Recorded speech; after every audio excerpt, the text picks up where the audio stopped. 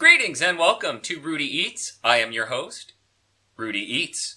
Today we are sampling a product that I thought I had missed out on. This is Mountain Dew Pitch Black.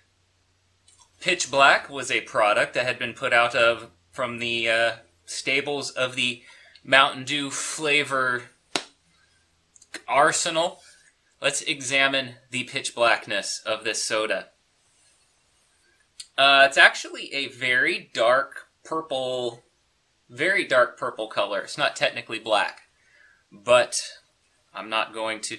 If it's blackberry, that would make a lot of sense. This is the black tie-in, but I'm going in blind.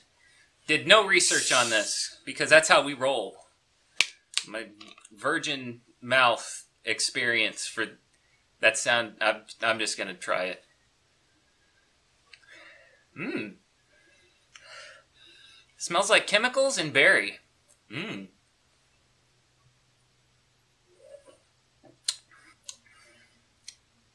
That thar is a grape soda. I love grape soda. I love good grape soda. This is not my favorite grape soda. Uh, I may be biased on this because I'm a connoisseur of grape. I assume this is grape. It may be, have some blackberry undertones in there, but it tastes like grape. You know what? Let's be scientific about this and find out what this flavor actually is. And consulting the all-knowing oracle of Google, what is pitch black flavor Mountain Dew? Okay, I found this on the web for what is pitch black flavor Mountain Dew. It is officially flavored as black grape. Whatever that means, but it's good. Uh, it has a definite grape flavor, and you do detect the citrusy signature Mountain Dew undertones.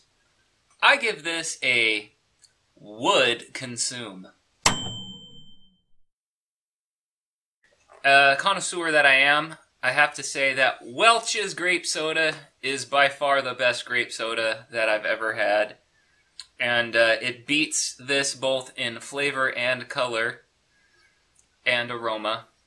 But uh, this is a solid entry into the mainstream market. You don't see a whole lot of grape.